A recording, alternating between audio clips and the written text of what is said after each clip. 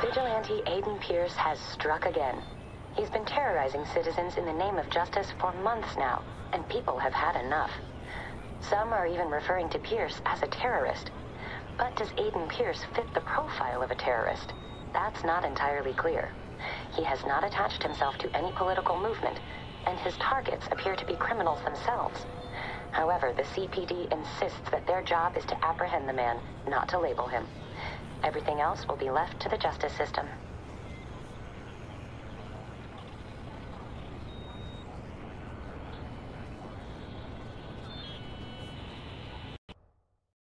That man, he's the one they're talking about.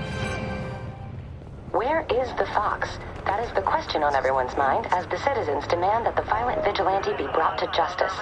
The CTOS is fully functional, the police remind us, and the tip lines are always open.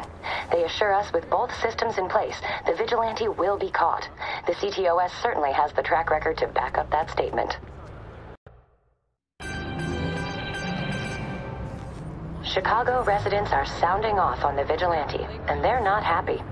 Social media sites show that a vast majority of posters are against the actions of this dangerous individual.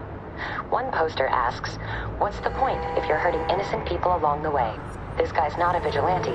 He's just another gangster in a gangster war. Chicago has a historical obsession with larger than life criminals. However, this new vigilante is quickly losing public support.